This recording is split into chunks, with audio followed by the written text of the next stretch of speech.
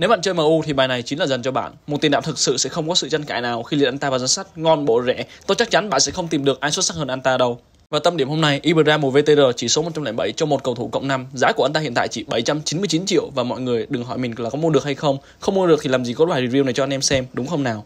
Ok và cùng xăm soi chỉ số nào. Ibra sở hữu 6 chỉ số ẩn, những chỉ số quan trọng đều trên 100 tất cả, nhưng được cái này thì mất cái kia. Bộ chỉ số dứt điểm cực kỳ tuyệt vời. Tuy rằng tốc độ có hơi chậm một tí, nhưng mình nghĩ sẽ không quá quan trọng đâu khi mà thể hình là thứ đã bù đắp rất nhiều cho khuyết điểm này rồi.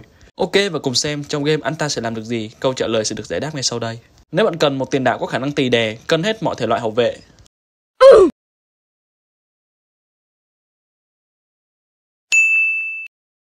Nếu bạn cần một tiền đạo có thể rê bóng mượt mà như Ngọc Trinh.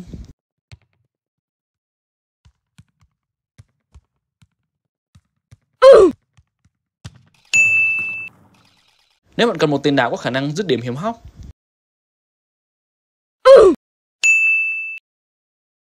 Nếu bạn cần một tiền đạo có thể tung ra những cú sút từ xa trái phá.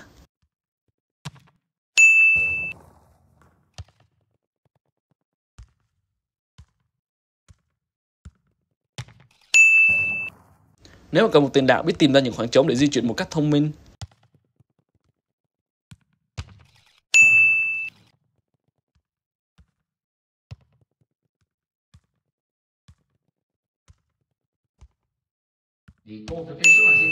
Và cuối cùng, chiều cao 1m95 không nghi ngờ gì nữa nếu bạn cần một tiền đạo biết chơi không chiến một cách mạnh mẽ.